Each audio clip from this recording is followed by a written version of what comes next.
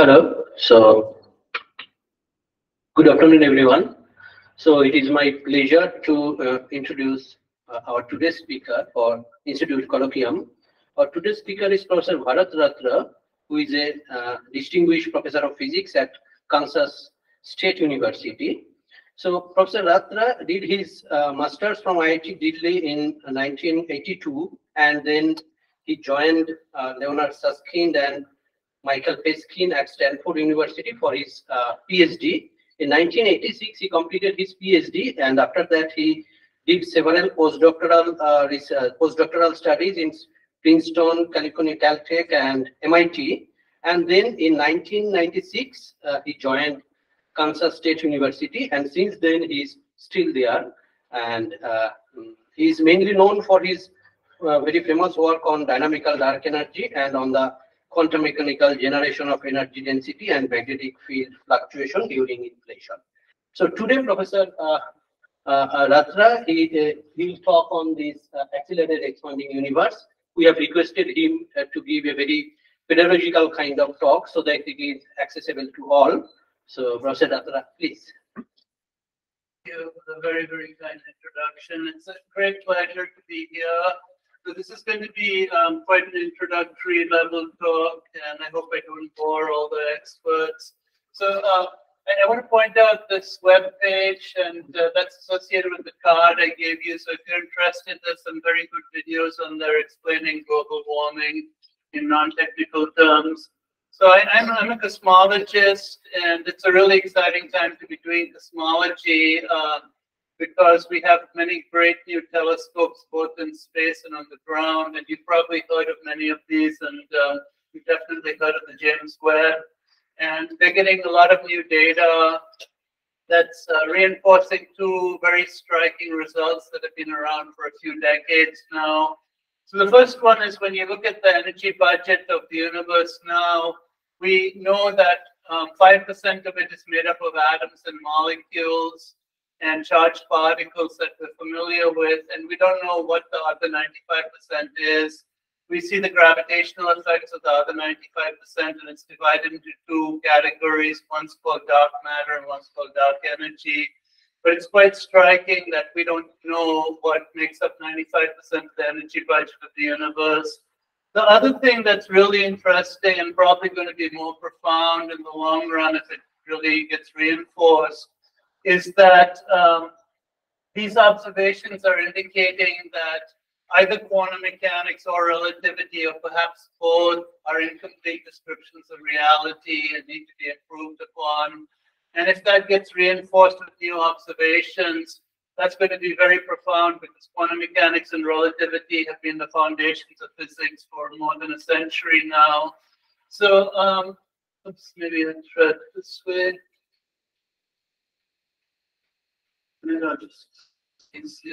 Okay, so um, this is quite close to where I live. Um, it's um, grasslands and um, they put bison, American bison back on it. And it's a really nice place to go hiking. So I have some questions. Uh, how many of you have gone hiking 10 kilometers in your life? You can put up your hands.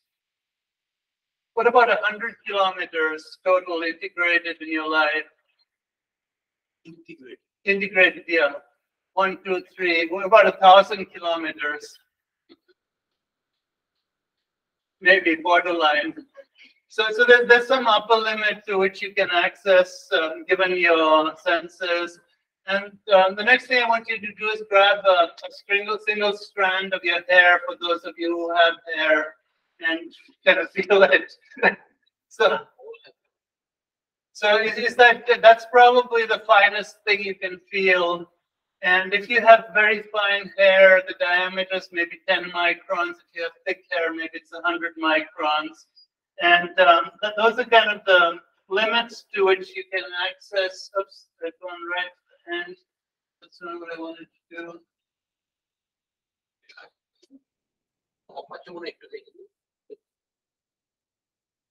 Okay, this should be. Okay, so here uh, is some length scales in meters. So you can, I mean, if we have enough time, you can go walk 10 to the 5 meters or 10 to the 6 meters in your lifetime. and maybe your fingers are sensitive enough to go down to feel things of order 10 to the minus 4 meters. But um, that, that's the region of the length scales that you can access directly through your senses. And um, if you're very, very clever like Newton, you can bounce balls and you can watch falling apples, and then you can figure out conservation of energy and conservation of momentum and the inverse square law. But you cannot do physics the same way on much, much smaller scales or much, much larger scales because you cannot directly access those scales with your senses. And you've got to use measuring devices, so telescopes, microscopes, particle accelerators, and you end up mostly collecting photons, and uh, at least on the large scales. And maybe in the future you'll collect neutrinos and gravitons too, but mostly you collect photons, and you turn those into electronic signals that you store in your computer, and then you build mathematical models of the phenomenon you're trying to study and try to make predictions, and you compare those predictions to the photons that you converted to electronic signals and stored in your computer. And there's no guarantee that your Newtonian laws are going to also apply over here or down here. And in fact, they don't. I mean, quantum mechanics um, holds over here and relativity fields over here. And um, they, they, in some sense, are counterintuitive because all your intuition is built up over here through your senses. And the way you build up intuition here and here is to kind of make use of uh, these mathematical models and make predictions, and it becomes more complicated on large scales and small scales. And today I'm going to concentrate on, on the large scales. But if you're interested in looking at this a little bit more, there's a couple of very, very famous videos. One's called The Powers of 10 by the Eames brothers, and you can search Google and see that. And you can also see an update of that from the American Museum of Natural History. They're, they're quite short and they're very instructive. But I want to spend a little bit of time walking outwards here. And um, try this again. Okay, we'll start over here. And you, you probably see this guy before. So instead of using the meter, I'm going to use the Einstein as my unit of length. And so uh, Einstein is roughly two meters. And you can also do this in terms of masses or time scales, but we won't have time, so we'll just concentrate on length scales. So we can go from here to this small planet. This picture has only become possible in the last six or so decades since we've had satellites in space with cameras. And one way to think about this is to build a, a tunnel from the North Pole to the South Pole and leave a base here and then if you get six and a half million Einsteins and put one down here and the next on his shoulder the next on his shoulder and so on, you'll eventually reach the North Pole. So that's roughly a factor of 10 million going from a human scale to the scale of a small planet. We can step out further and look at our nearest neighbor star, the sun. And you can do the same thing here. Um, if you want, it's probably easier to think about it in terms of stacking up Earths so you'd have to stack 100 Earths to get to the diameter of the sun. And so it's 100 times roughly um, 10 million Einsteins. So it's a billion Einsteins roughly, or 700 million Einsteins. And so that's another, so the first one was a factor of 10 to the 7. This is another factor of 10 to the 2. And we can go and look at other objects on bigger scales so maybe the first thing to look at is the Earth-Sun distance. And the Earth goes around the Sun in an approximately circular orbit. It's elliptical, but if you average it out and look at that average radius, that's about 1.5 into 10 to the 11 meters. And it gets quite complicated using the meter as the length scale there because you have to carry around many parts of 10. So people who study planetary systems introduce a new length scale and that's the astronomical unit, and that's abbreviated to AU. And it's just the, radius of the Earth's orbit around the sun. Another way to measure lengths on these scales is to make use of light travel time. It's in vacuum, light has perfected cruise control, and it always travels at approximately 3 times 10 to the 8 meters per second. So for it to cover this distance, it would take 500 seconds. And so you can use that time and say that one AU is equal to 500 seconds. Or when you look at the sun, um, that light left the surface of the sun 500 seconds ago in the past and it traveled in a straight line and it hit your retina and it got converted into electronic signal in your brain and that made the sun's image. But you shouldn't directly look at the sun without protective equipment. But it's kind of really important to realize you're not looking at um, the sun at the same time. You're looking at it in the past, and the same thing's true in this room. Because light travels a foot in a billionth of a second, when you're looking at the person next to you, you're seeing that person two nanoseconds ago in the past. You're not seeing that person in the present.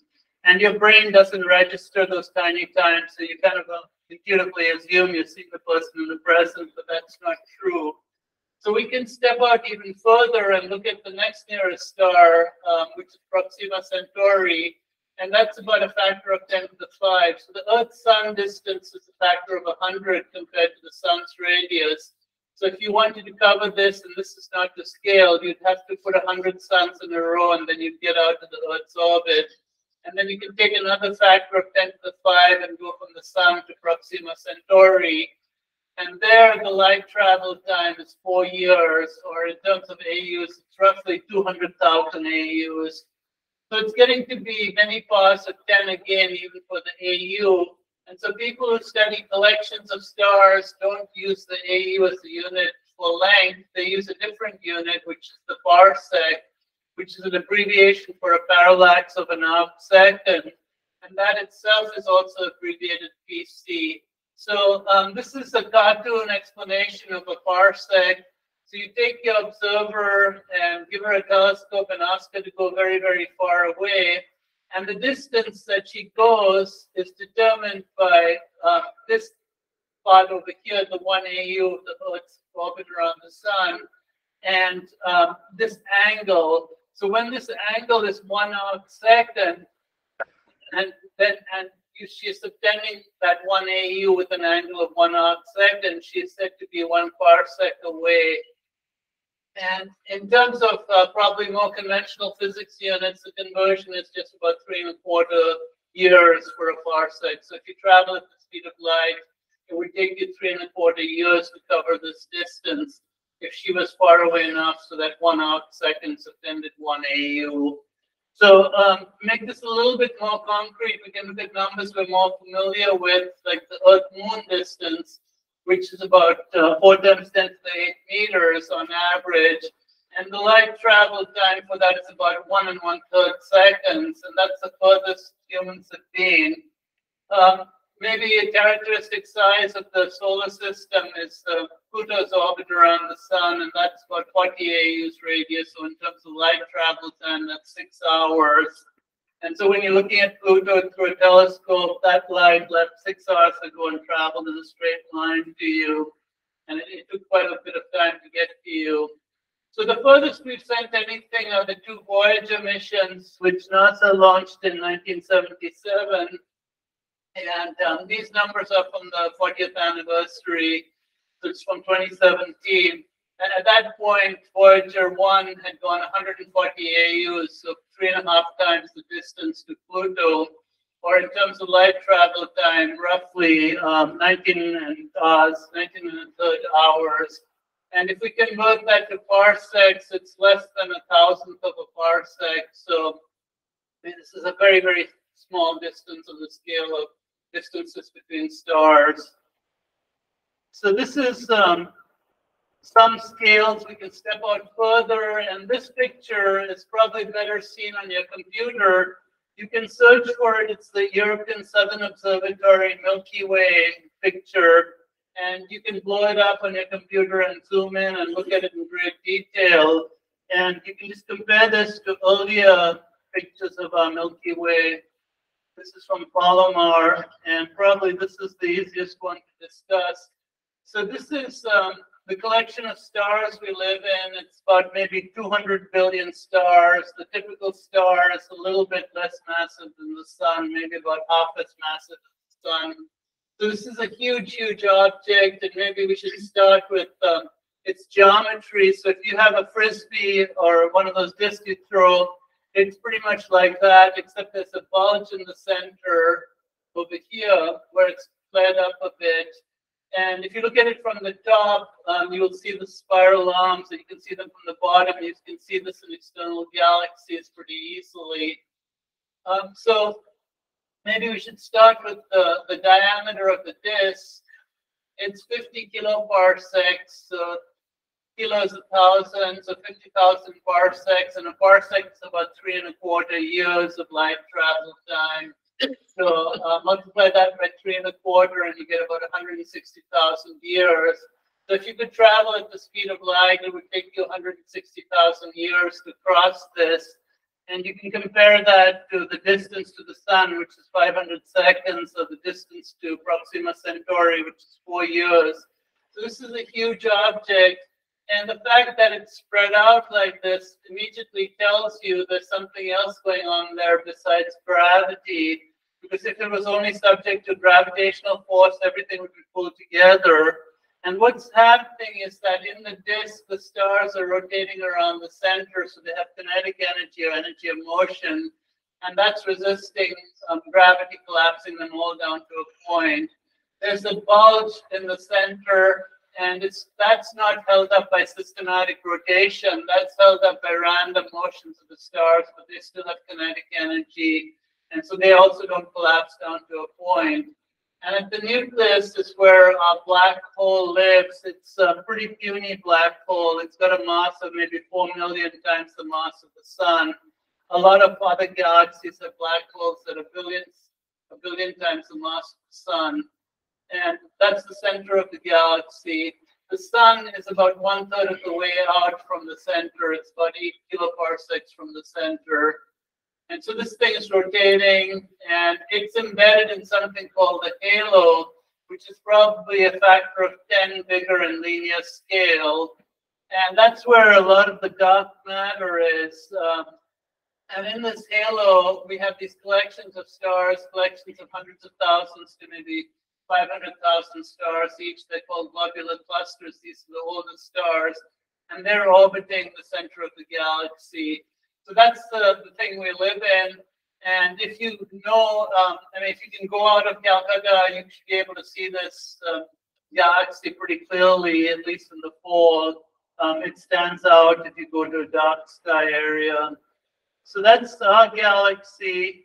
And there are other galaxies, there's many of them, and this is uh, nearest neighboring big galaxy. This is the Andromeda galaxy, and if you know where to look, you can see this with your eyes too. You don't need a telescope for it.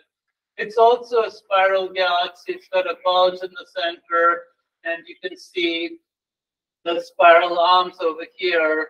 And it's a little bit bigger, um, so maybe uh, it takes about 200,000 years to cross the speed of light and it's about um, two and a half million years away from us. So when you look at Andromeda, the photons that are hitting your eye now, that's Andromeda two and a half million years ago. And that's kind of an interesting time for human evolution. So probably the most famous hominin fossil is Lucy from Ethiopia. And she apparently climbed up into a tree to escape predators and fell asleep and fell out of the tree um, approximately three and a quarter million years ago, um, a little bit before the photons you now see from Andromeda left Andromeda, but that's kind of the time scale.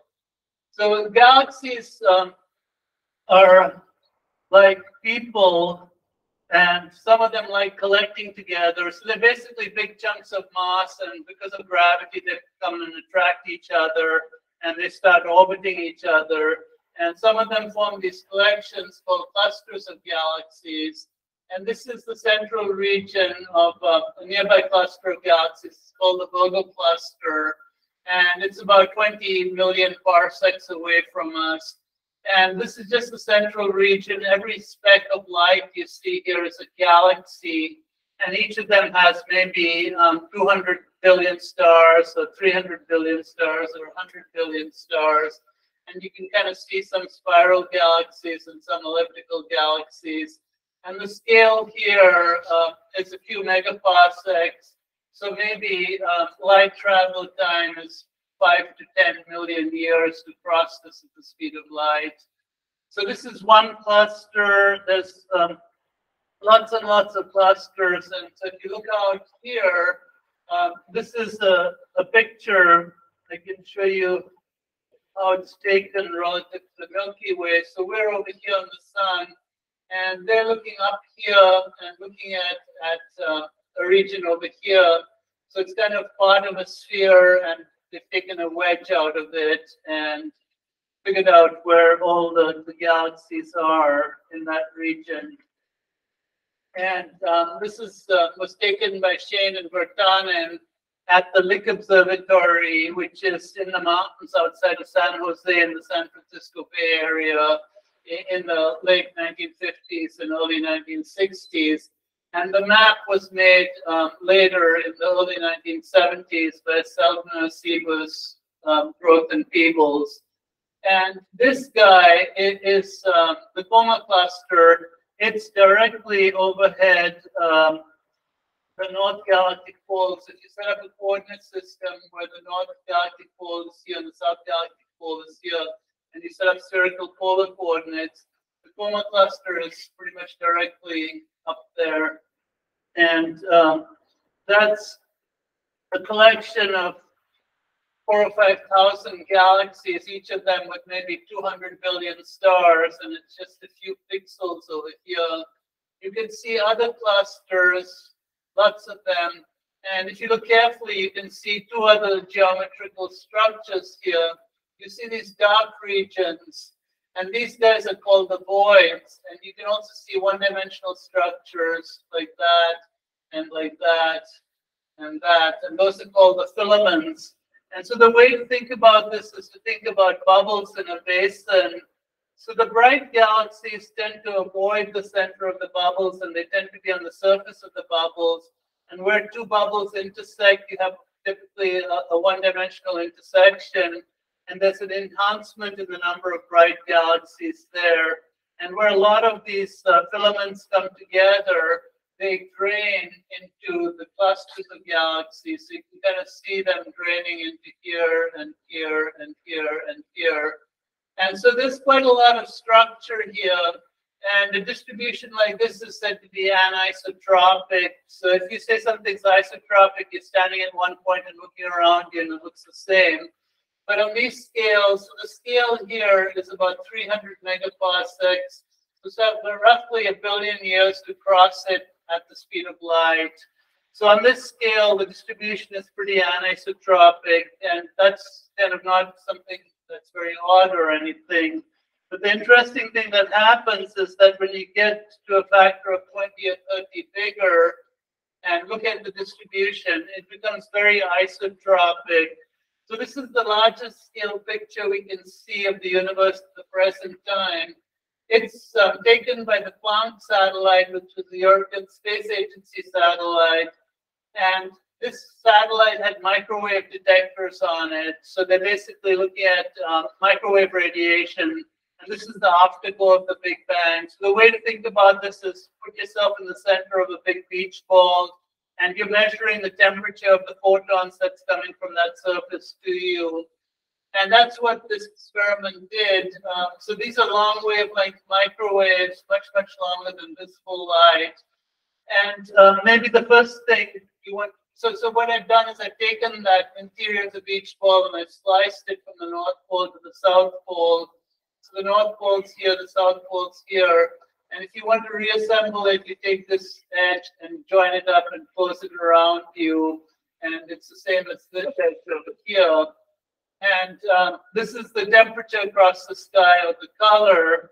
And um, maybe the first thing you're interested in is the average temperature. So if you average this across the whole sky, it's roughly about two and three quarter Kelvin. So it's very, very cold. Um, so this room is probably roughly at 300 Kelvin. Once you have the average, maybe you're interested in the difference between the hot spots and the cold spots. And that difference is roughly about 30 or 40 microkelvin compared to an average of 3 Kelvin. So if we just say delta T is 30 microkelvin and T is 3 Kelvin, then delta T over T is 1 part in 10 to the 5, or the bumpiness is 1 part, eh, it's 0.001%. So the difference in the delta T over T from here to here is, uh, very, very small. So it looks the same across the whole sky, and you need this very, very sensitive instrument to notice these differences of one part and ten to the five. So this is quite isotropic compared to stuff on scales a factor of 10 smaller, which is pretty anisotropic. So these are two really important facts about the universe. Locally, on small scales in our neighborhood, matter and radiation is spatially anisotropic. I mean, we know that in this room. If you look to your right, you look above you, you don't see the same person. And we know that from the surface of the Earth, you have oceans, you have mountains, and you know that for um, the solar system, you know that the Milky Way, there's all um, breaking of isotropy there. But when you get out to really large scales, um, on the scales of 500 million years or so, then it starts becoming isotropic in a statistical sense. And the bumpiness on the scales of billions of light years is one part in 10 to the 5. So it's isotropic on large scales and it's anisotropic on small scales. And I'm not going to talk much more about these, but if you're interested in how cosmologists try to explain these two facts, is that they use this model called the inflation model of the very early universe and it qualitatively explains both these facts, and it can probably do pretty well even quantitatively, but the measurements are not yet precise enough to um, really test inflation, so we don't know if it's really correct or not. But you can learn about inflation. You can just Google it, uh, just say inflation in the very early universe, and go to Wikipedia or go to Scientific American or Discover or Physics Today or anything reputable and you can follow up there. So there's another really important fact about the universe is that it expands. And so when we say that something's expanding, that immediately means you have measuring devices that are not also expanding exactly the same way. And I, I have a, a, small measuring device here, and we can use this as an example. And so it's kind of useful to understand um, how this guy, why this guy is not expanding and the universe might be expanding. So on, on, the scale of our measuring devices in the universe, there are two forces that are relevant. So the first is gravity. So this has a mass, and Earth has a mass, and if I don't support it, um, the inverse square law is going to pull both the Earth and this measuring device together. And gravity is attractive so the other force that's relevant is the electromagnetic force or the electric force. And there's a difference there compared to gravity that both inverse square law forces. So instead of Newton's law, you have Coulomb's law. But in the electromagnetic case, you have like charges and unlike charges. And like charges repel and unlike charges attract. So electromagnetic force has both an attractive part and a repulsive part, while gravity is always attractive. So the first thing we might be interested in is to take maybe two protons and compare the electromagnetic repulsion to the gravitational attraction. And they're both inverse square laws. So the distances cancel out if you take the ratios of the two forces. I'm sure most of you have computed this and um, for those of you who haven't, the electromagnetic repulsion between two protons is roughly a power of 10 to the 36 bigger than the gravitational attraction. So electromagnetism is an extremely strong force on the scale of gravity. But the thing that's really important to realize is that in this object and in us and in the Earth, we're all made up of atoms and I guess maybe molecules, but we can just think about atoms. So atoms have a, a, a, nucleus that has a positive charge and it has an equal and opposite negative charge in the electron cloud. And so we're made up of things that are basically neutral. And so electromagnetism is kind of irrelevant on scales uh, much, much larger than scales on which you have atoms because you have, um, so I mean, just think about you and your neighbor. You're pulling your neighbor towards you gravitationally but you're neither pushing or pulling your neighbor electromagnetically because your electrons are pushing her protons, pulling her protons to you, and they're pushing her electrons away, and you're made up of the same number of electrons and protons. So you're not being affected that much by electromagnetism. I mean, unless you comb your hair really vigorously or something and build up some static charge, and then this uh, effect left over. But once you get to larger and larger scales and heavier and heavier objects, if you compare two planets, there's almost no electromagnetic force between them, but there's a pretty strong gravitational force compared to the force between you and your neighbor. And if you go to two galaxies, the gravitational force is much, much, much, much more important than the electromagnetic force, even though electromagnetism is 36 bars of 10 stronger than gravity. And so when we get out to very large scales, we have to use the best model we have for gravity because that's the only relevant force for cosmology. And that's Einstein's general theory of relativity. So Einstein kind of, Newton um, had a fixed space and uniform time, and everything was happening in that fixed space and time was running uniformly. And then Einstein realized that if you're dealing with phenomena close to the speed of light or in strong gravitational fields or in very large length scales, you can have a more accurate description of reality by allowing space and time to deform in response to what you were studying. And that's what general relativity does. It makes space and time dynamical. And so the way you kind of build up intuition here is you solve the equations of general relativity for the cosmological model you're interested in, and then um, use that to describe the phenomenon you're seeing. So what happens is that general relativity kind of wanders around in the universe, and where it finds regions that are underdense on average, it creates new space and that space has to go somewhere, and that just spreads out. And everything lives in space, and so everything gets taken along for the ride. And that's the expansion of the universe. But your meter stick is held together by electromagnetism, and the gravitational force is almost irrelevant on the scale here because it's 36 powers of 10 weaker than the electromagnetic force. And so it doesn't affect your meter sticks. So um, so maybe we should look at some cartoon explanations of what's happening. So I've got a, a, a one-dimensional expanding universe here.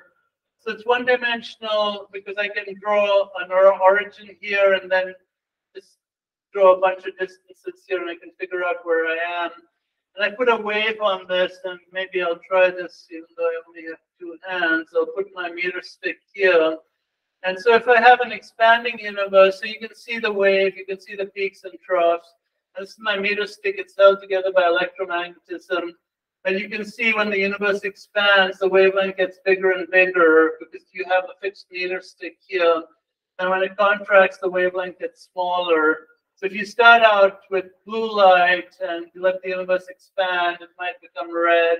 So there's a couple of things wrong with this demonstration. Um, first of all, gravity does not go to the ends of the universe, and there's probably no ends to the universe. So gravity is not pulling. So what it's doing is it's going into the universe, it's creating new space, and that space is spreading out. And this doesn't happen just in one dimension. It happens in every dimension, every spatial dimension. So we have a three-dimensional space here. There's the vertical dimension, there's two horizontal dimensions. And so you have the expansion in all three dimensions. And um, let's just do a little bit of math here for this guy. So here's my um, elastic band, and this is it at an earlier time, and this is it at a later time. And I need something to characterize the local size of the universe, so I'll just use the distance between the hands. And I put a wave here, and this is when the light was emitted. It's emitted with some fixed wavelength lambda naught. And as time goes on, the wavelength gets bigger because the universe is getting bigger, and you can just draw this on, an elastic band and see this is how it works. So the wavelength is going to be proportional to the distance between the hands. And I mean, just draw that, you can see that. And um, so cosmologists roughly call the distance, the local distance between the hands, uh, the scale factor, and the symbol for that is A as a function of t time. So A gets bigger going this way as the universe expands, and time gets bigger this way. So the baby universe is up here, and uh, we're over here at the present time. But astronomers prefer not to use the scale factor. Instead, they use this variable they call the redshift. which is defined through this equation, 1 plus z is the value of the scale factor at the present time at which you're doing the observations, divided by the scale factor value at the time at which the light was emitted. So if you emit the light at, at the present time, that A of t will be A of now, and A now divided by A now is going to be 1. So Z is going to be 0. So redshift 0 is here. But if you emit the light earlier on, so you get a quasar or something in the past, then at that point, A of t was smaller because the distance between the hands is closer then than it is now. So A of t would be smaller than A of now. So the right-hand side would be bigger than 1, and Z would be bigger than 0. So Z gets bigger as you go back in the past. So higher redshift is in the past, while the scale factor gets bigger as you go to the present and time gets bigger as you go to the present. So we can move on and look at this guy.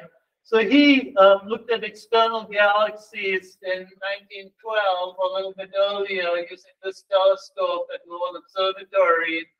And he looked at them and he realized that uh, he could identify spectral lines but the spectral line wavelengths he was seeing that corresponded to specific atoms were longer than the wavelength he was seeing in the lab. So if you're looking at hydrogen, the wavelength would be longer through his telescope. He collected this light and passed it through a diffraction grating and broke it up into its spectrum. So that's just uh, the Doppler effect as things are moving away. And, and you've noticed this with a fire engine or an ambulance or a police car with its siren as it's moving away from you, the pitch drops, and as it moves towards you, the pitch goes up. So you get red shifting as it's moving away from you. And that's what Slipher thought was happening, that everything was moving away from him. But he couldn't really understand what this phenomenon was. So one possibility was that in the past there was this huge explosion centered on roughly where Slipher was in 1912, and everything started moving away. But that's not what's happening. It's a little bit more complicated. And maybe I should start with this. So when we have the expansion, so the ping pong balls are like galaxies after they've been formed. And when we have the expansion, what's expanding is the space between the galaxies. The galaxies themselves are not expanding. The ping pong balls stay fixed as new space is being created. And this is not true in the distant past when the galaxies were forming and things were different then. But once you form the galaxies, um, Newton's law of gravity, the inverse square law, is, uh, tells you that that force is strong enough to keep the galaxies together, and it overwhelms Einstein's space creation process in the galaxy. But between the galaxies, the space creation process is what dominates and is pushing the galaxies apart. So we can look at um, another cartoon up here, which is this uh, cake rising. It's got east, and this is a so this was a, a, a one-dimensional expansion because it's they're all in a line. So this image I have up here, it's a three-dimensional flat universe because it's Euclidean. There's three dimensions, the vertical dimension, the two horizontal dimensions. And the expansion happens in all three dimensions. And so um, the volume is going to expand in proportion to the uh, length cubed, and each length goes with one part of the scale factor. So the volume expands in proportion to the third part of the scale factor. And clearly, um, we can't have edges here because if you have an edge and you look out, it's going to look different than when you look in, and it wouldn't be isotropic. And I argued that on really large scales, everything is isotropic. And so if you want a flat universe, it's going to go out to infinity in all three dimensions. And so we can put down our galaxies, those are the chocolate chips, and we can put an observer on each one. And we can ask the observer in galaxy number two what she sees. And she's going to tell you as the east rises, she sees every galaxy move away from her. And we can do the same with an observer on galaxy five and ask him what he sees and he's going to tell you he sees every galaxy move away from him. So the fact that Slipher was seeing this Doppler shifting didn't mean that he was at the center of an explosion and that everything was moving away. And what's happening is that actually every point in space is moving away from every other point in space. And that's what the Big Bang is. Probably in the best model that fits the data now, you go back in time at the start of the Big Bang, it's infinite in space. And every point in space moves away from every other point in space. And that's the expansion of the universe. And um, it's a uniform expansion, and that's where we get um, the Hubble law from. So Slipher had this little telescope. Hubble, some years later, in the mid 1920s, had access to the 100 inch telescope on um, Mount Wilson, which is north of Los Angeles in the San Gabriel Mountains. And he could resolve individual stars in these galaxies that Slipher had looked at.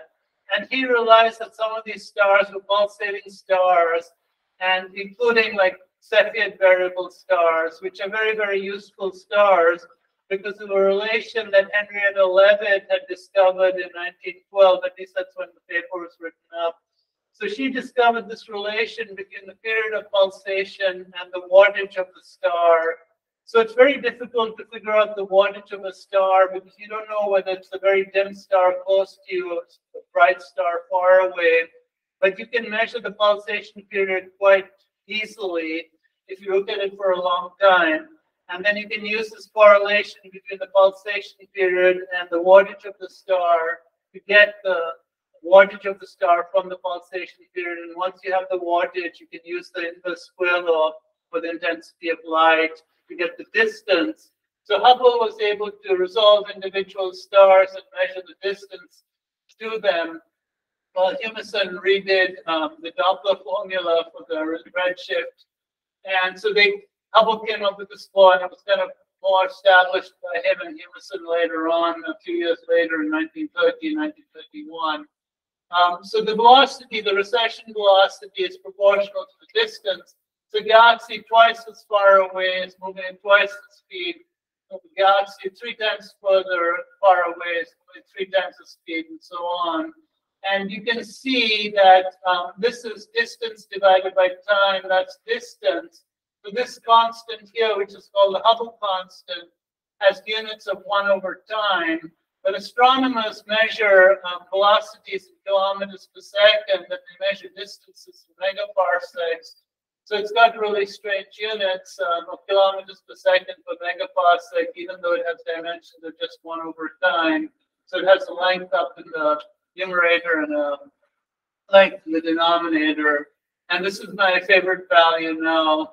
So this is the Hubble law. Um, we can look at um, some of the data that tightens up the estimate of the Hubble constant. And this is from the Hubble Space Telescope Key Project, uh, which was led by Wendy Freedman um, from 2001. And this is one of the reasons the Hubble Space Telescope was built, was to measure um, fainter galaxies that were much, much further away and to get their redshift and try to get the distances and plot the recession velocity as a function of distance. The residuals are here, so the units are down here.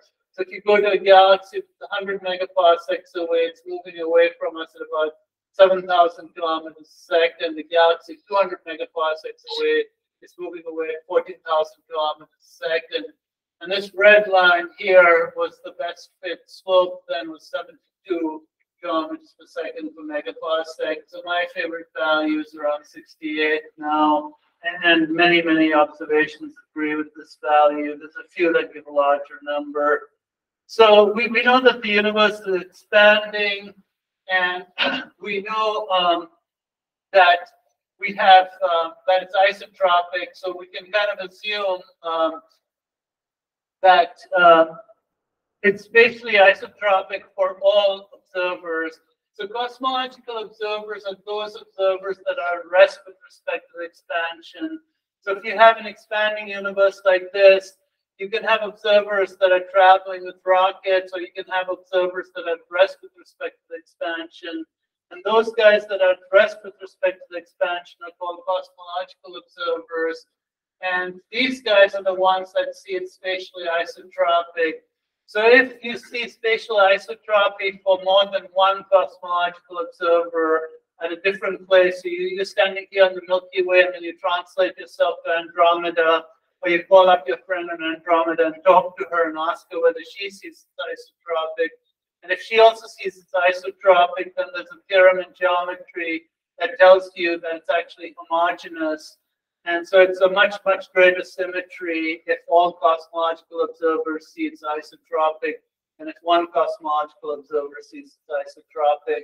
So if you have homogeneity in space on large scales, then you're restricted to only three possible geometries for the simplest topology. So you have the flat, the open, and closed models.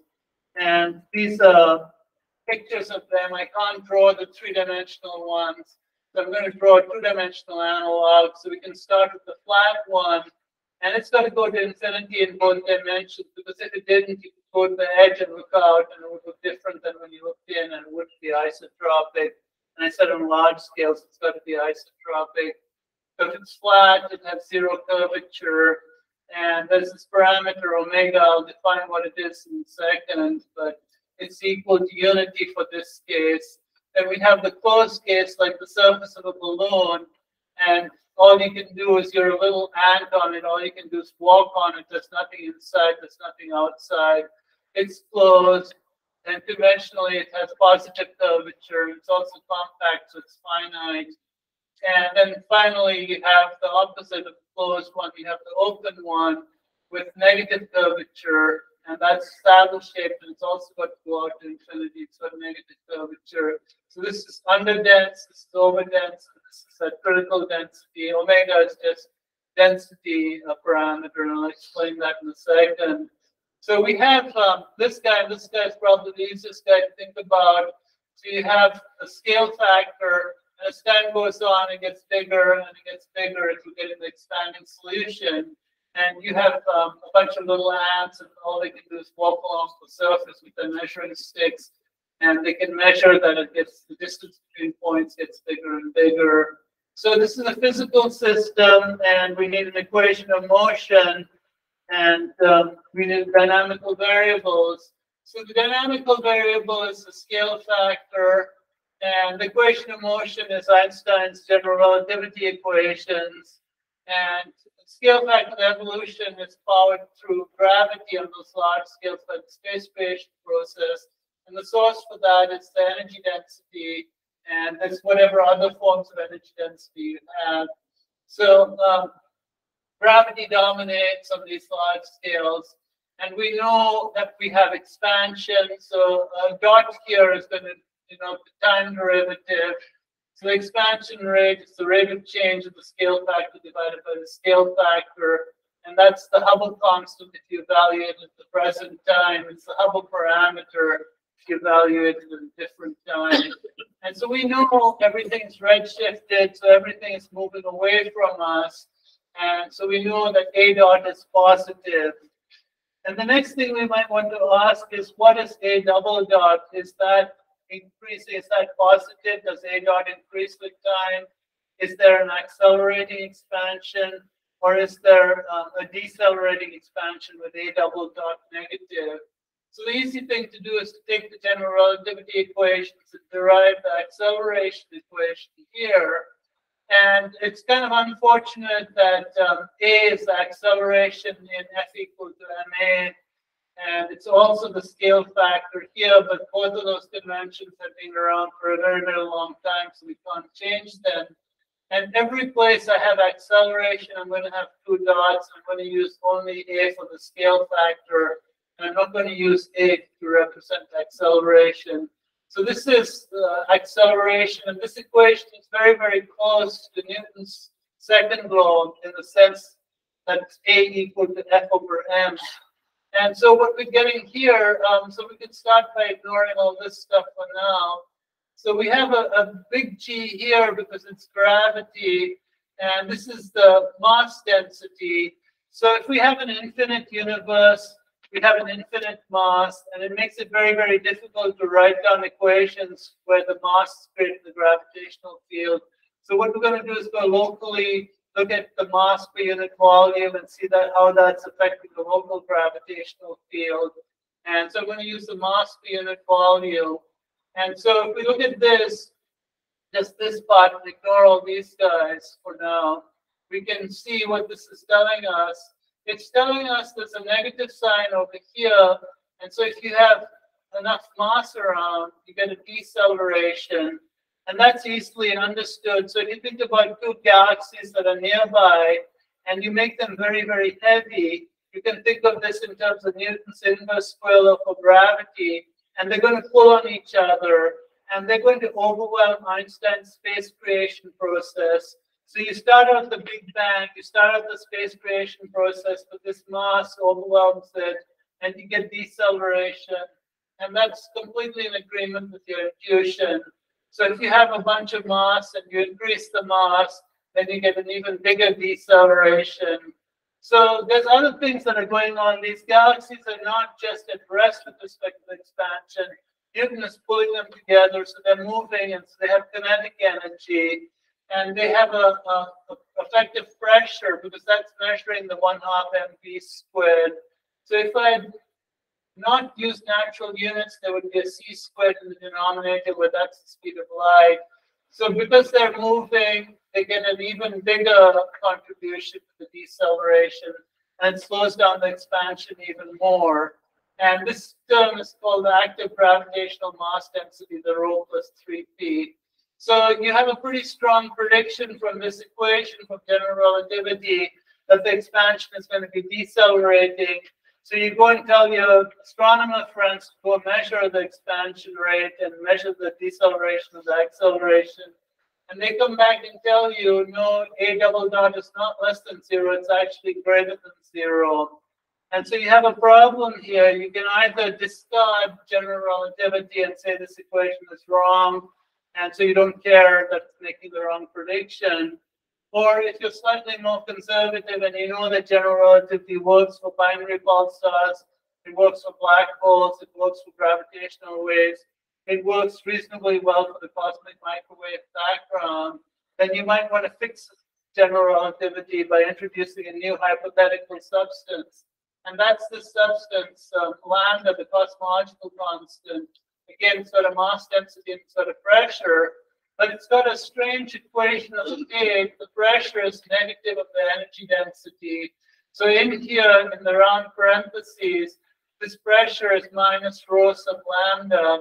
So the round parentheses is equal to minus 2 rho sub lambda. And if you make rho sub lambda bigger than rho sub matter or T sub matter, the round parentheses term over here can completely dominate this guy, and everything inside the square parentheses would be negative, and that negative sign would cancel that negative sign, and it give you positive and give you acceleration instead of deceleration. And so that's what dark energy is, and one is kind of hopeful. One sees phenomenon like this in the lab with the Lamb shift and with the Casimir effect and one can hope that maybe on cosmological scales the same thing happens and that can introduce this cosmological constant of dark energy to give you accelerated expansion. So I'd mentioned this parameter omega. And this parameter has a, a special model, the simplest cosmological model, where the energy density is determined by the Hubble constant and Newton's constant. And it's roughly uh, a few times 10 to the minus 9, 29 grams per cubic centimeter. And this is kind of a messy uh, number to carry around. So people uh, just divide by this critical energy density and they use the omega parameter. And omega has to sum together to be unity. So I don't know if I'm running out of time and I should try to stop or. Okay, so should we have questions now? You want me to go for five minutes and then have questions? Yeah, you can wrap it up within two, Okay, Okay, so let me try to go really fast for a few minutes. So let's just try to take the summary of all the stuff in the universe and what they contribute. And at the present time, five percent of the stuff out there is what cosmologists call baryonic matter. And this is what um, physicists would call atoms and molecules and electrons and protons and neutrons and stuff like that. And that's mostly atoms and molecules and gas clouds and stars and people and blue whales and elephants. And this number started getting pinned down in the late 1960s based on work that Gamow and his um, postdoc and graduate student had done trying to explain the abundances of the light elements. And they realized um, through a really good, uh, really lucky guess that this process would leave over photons in the microwave part of the spectrum. I mean, they had no reason to um, choose the numbers they chose, but they chose the numbers that are reasonably true in, in the real universe. And so they ended up with microwave photons. And these microwave photons were discovered by accident by Penzias and Wilson and Bell Laboratories. And their um, results were interpreted with a companion paper by Dicke Peebles, Roll, and Wilkinson. And through more precise measurements of the microwave background, people have started pinning this number down more accurately. So even earlier than this work in the 1930s, Zwicky and a bunch of people um, were looking at clusters of galaxies. They could see the galaxies moving around each other, and they could measure how fast they were moving from the Doppler formula. And once they knew the speeds, they could use F equal to ma and uh, uh, Newton's uh, one, one over r squared force for the gravitational field, and then determine how much mass they would need to create the speeds they were seeing. And, and Zwicky kind of realized that um, when you add up the mass of the stars and the hot gas that was emitting photons, that you needed more than 10 times that amount of mass to produce the speeds you were seeing. So he ended up finding that there was more matter um, out there that wasn't shiny, it was dark. Um, so this is based on assuming F equal to ma, Newton's inverse square law of gravity. And he could measure the speeds. It was non-relativistic motion, much, much smaller than the speed of light. So people also call that cold. And um, he didn't know um, that this number was only 5%. So he just called it dark matter. So much later, when people had pinned this number down, they realized it was not made up of atoms and molecules. It was not baryonic. And more recently, it's been uh, pinned down to about 25% of the energy budget. Um, much later than that, um, people came up with this thing they called dark energy in the 1980s. And um, so this is just called energy to distinguish it from this guy.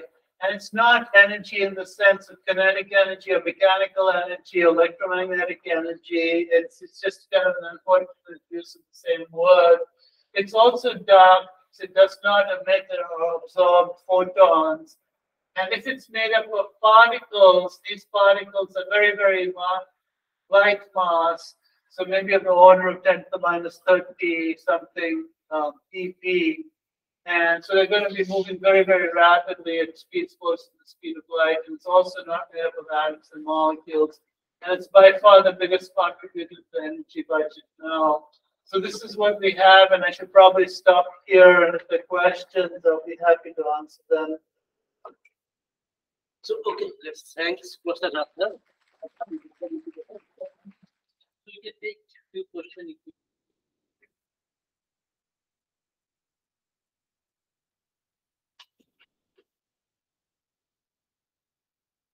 Here.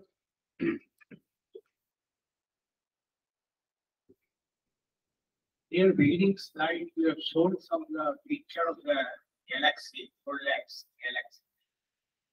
But we can see that uh, universe full of elementary and half structure. Yeah. Okay.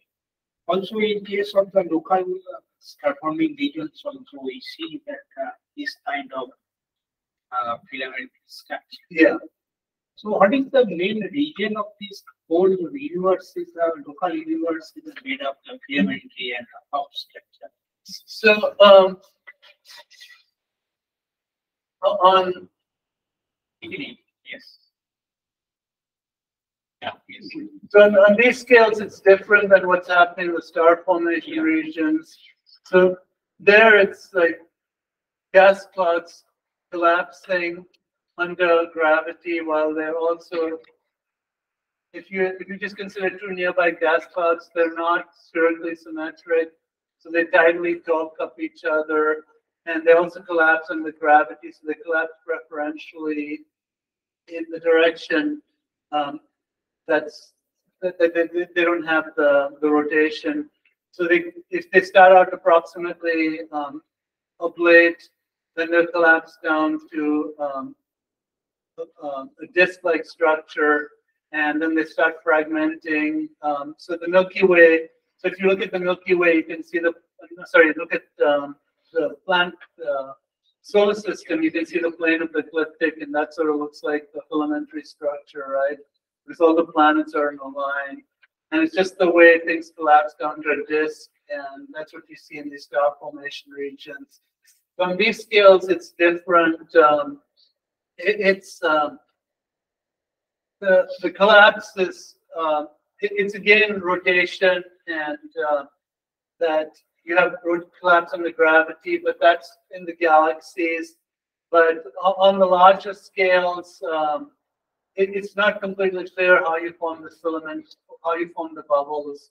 And so this you can do the topology and you can get this, but in in um, a model under gravitational collapse, you get um, it's it's a complicated process with the simulations where you form the one-dimensional structures and you form the preferential bubbles and where they intersect, uh, that's where the bright galaxies are. And you can see the filamentary structure because the bright galaxies stand out. And that, that's also true even in the spiral arms because you have, that's where the bright stars form.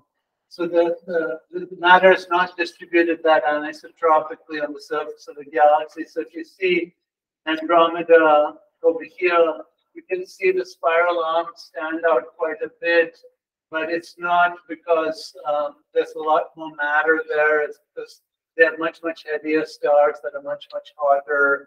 And so it's uh, uh, an illusion from, from the light. The light is much more concentrated there.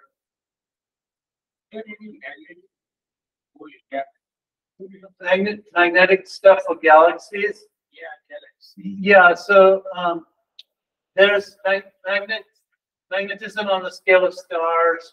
Right? So you see that with the Zeeman effect.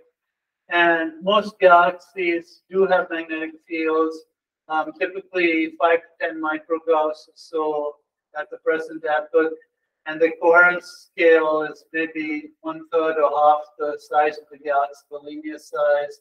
And it's not completely clear where those magnetic fields came from. Um, we, we can talk more about that later. Yeah, very nice talk. So, I mean, uh, it's taking it somewhat beyond what you spoke in your talk. But uh, since you work, not only work, you are one of the pioneers of this concept of dark energy. And essentially, I mean, there, there, are many models, many mechanisms of dark energy since your work. But uh, yours was based on scalar fields and the potential energy of uh, uh scalar. So subsequently, there have been work using the kinetic energy of scalar fields. Yeah. So the question is uh, briefly, I mean, when can we realistically hope through observations to be able to say with some amount of certainty, because one can't be absolutely sure, that dark energy is is manifested through some scalar field, whether it be kinetic or potential. Yeah, that's um, it's very difficult to predict, especially if you want to predict the future. But um, if you have a cosmological constant and you have cold dark matter, that model is called the lambda CDM model. And, and it does a, a, pretty good job at fitting all the observations. But the problem with the cosmological constant is you can't tie it to anything else in physics and um, makes it much easier if you make it a dynamical variable. And that was the motivation for us to make it a scalar field. And the scalar field is, um, depending on the potential energy density you choose, it's not going to give you a constant energy density. It's going to vary with time. And so it's going to give you a slightly different acceleration in a double dot. And maybe um, when the observations get sensitive enough, they'll be able to measure that difference. And I'm, I'm not sure when that's going to happen. So the main experiments now is um, one that's taking data. It's called DESI. It's a dark energy spectroscopic instrument. And it's um, a telescope in Arizona. And they sh- should have redshifts of maybe 40,000, for 40 million objects um, within four or five years. So the present time, we have redshifts for maybe 2 million galaxies total. This is a factor of 20 increase in the number of redshifts. And so maybe that'll be good enough to measure the expansion rate from now to a redshift of about three and a half or so. And that might be um, good enough to tell us whether it's possibly a scalar field. If that doesn't work, um, European Space Agency just launched this Euclid Space Telescope, and maybe that in another six, seven years will do a better job. And if that doesn't work, um, NASA has another space telescope. It's uh, a Roman Space Telescope, and I think they're going to launch that in two or three years, and maybe that'll do it. But it's kind of unclear when. Yeah, but realistically, say around to twenty thirty or something, we should have a window, at least mapping, charting the expansion, say up to the redshift of uh, Three, three and a half. three and a half. Yeah, And that with should much be- more precision than we have Yeah, now. that should be able to measure the acceleration. uh, Yeah, hopefully, um, it'll And be the sufficient. parameter equation of state parameter. Yeah. As well. Yeah, hopefully it'll be precise enough to distinguish between dynamical dark energy and cosmological constant. But it's difficult to say. Thanks. So, uh, due to time constant, let's stop here. Uh, you wanna, okay, Colin. Yeah, uh, I will it's one question. So, like, uh, I have also seen a couple of recent papers uh, where, uh, where this is uh, with the negative cosmology constant. So, their model is a combination of some scalar phi and some lambda. Yeah, So they took both and make the lambda negative. In that way, they uh, they, they were able to match uh, all the last observations like the capacity. Also try to deduct that uh, Hubble tension. yeah, I don't know how even are their models. Like, yeah, it's kind of difficult to tell, so, um, I, I don't know what to say about the Hubble tension, right? So, um, there are many, many, many measurements of them, and people just focus on two of them, which is Planck, that gives you about 67 and a half, and um, Riess's group, that gives you 73. But um, you can find a paper that gives you any value between those two. And so I don't know um, whether you should just focus on these two sets of measurements and say that they're in tension when there's hundreds of measurements that lie between them. And so I think um, if you're going to motivate a model based on the Hubble tension, it, better be giving you predictions for other things and agrees with other things. And I mean, if you introduce both the cosmological constant and the scalar field, you're introducing enough parameters to fit more things than with just the lambda CDM model. And the lambda CDM model doesn't do that badly. So I, I don't know, I think um, it's going to be much more convincing. Okay, so, uh, let us thanks for Sadako once again. Thank you for your- And yeah, if you want any of those cards, there's more of them. You can come in front and get them. So This time we got you for a short time, hope in the coming future we will see you again. for Thank you. time. I, I hope so.